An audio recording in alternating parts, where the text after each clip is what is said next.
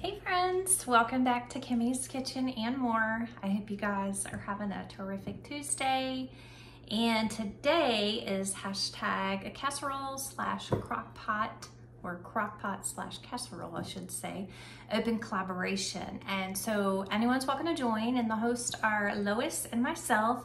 And um, I'll have Lois's channel linked down below. So you can go over and check out and see what she's making, see if she's making a crock pot or a casserole dish. And um, follow the link to see what everyone, else is making and hopefully you guys will join in with us. Um, today I'm gonna be making a casserole. Uh, it is actually a manwich casserole. And um, let me show you just some of the ingredients. Um, you will need some noodles. It doesn't matter what type of noodle you use. I'm using those, the rotini noodles. And I actually have two different types of manwiches here. I'm not gonna use this, probably this whole thing. I'm not gonna make that big of a casserole um, because it's divided in the house, half and half who's gonna eat it. So I don't wanna make a large one. Um, but I did wanna try this recipe because I thought it was really good and my husband and I both love manwich. Um, I've got the bold, the manwich bold, and I've got the manwich thick and chunky. And my husband and I have actually made our own several times um, manwich sauce, but I just wanted to do it the easy way this time. And I was actually craving manwich, okay? Let me back the story up. I was actually craving manwich and I, the store had just only one bold and I wanted the bold because I do like the bold. But they also had the thick and chunky and I said, oh, that sounds good too. So I figured, oh, well, probably just two separate times I'll make manwich. I'll have one back in the pantry and I'll make one. Then I came upon this recipe and I said, oh, that sounds good. However, I've got two different types of sauces. Oh well, let's go with it and see what it tastes like. We're gonna be bold and thick and chunky, right? So, using these noodles, and then I'll lower the camera down and show you what what else I'm gonna be using, so stay with me. Okay, so you are going to, of course, boil your noodles. And I only use half the box because, like I said, um, not everyone in my family is going to eat this or enjoy this. Um, so, I mean, you use what you need according to your family and how many people you will be feeding. Okay, I'm gonna add an extra thing of manwich just to make it really saucy, and then I'm gonna put the cheese on top, bake it in the oven at 350 degrees for about 25 to 30 minutes.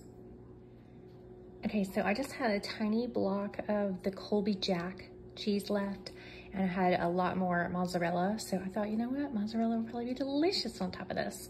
So um, as you saw when I showed the video with um, the uh, peppers and the onions, you can certainly cook your onions in your hamburger um, while you're cooking your hamburger or you can add it separate.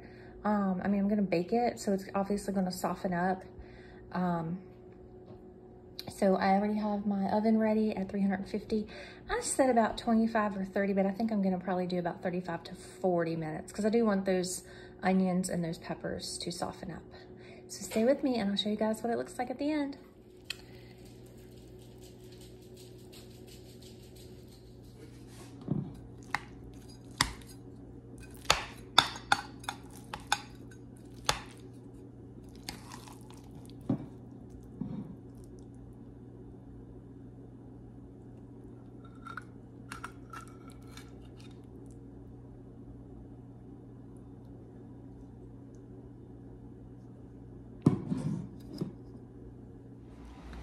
Hey friends, welcome back to Kimmie's Kitchen and more. Excuse my hair, it is a mess.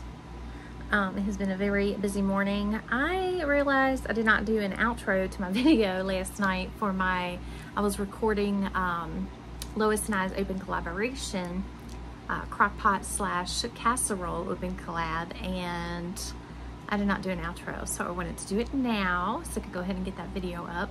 So um, I hope you guys enjoyed this video and please go check out Lois and everyone else in this open collab. We'd love for you to join us and show us what you're cooking up in the kitchen. And if you enjoyed the video, please give it a big thumbs up. That really helps our channels to grow. And also, if you've not subscribed to my channel, hit that subscribe button and that bell notification and you won't miss any of my uploads. And until next time, bye y'all.